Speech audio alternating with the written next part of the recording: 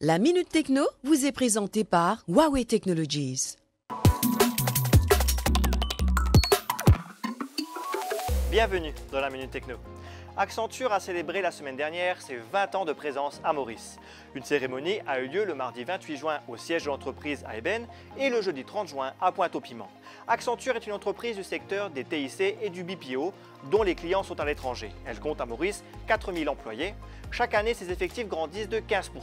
Parmi les services effectués à Maurice par les équipes d'Accenture, il y a entre autres pour le marché français le développement d'une application de demande de crédit pour l'achat d'appareils électroménagers, ainsi que la gestion d'un système informatique pour des paiements et des prélèvements bancaires.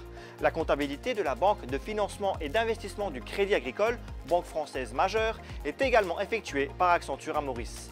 L'entreprise développe aussi actuellement le système de gestion des ressources humaines pour l'ensemble du Crédit Agricole dans le monde.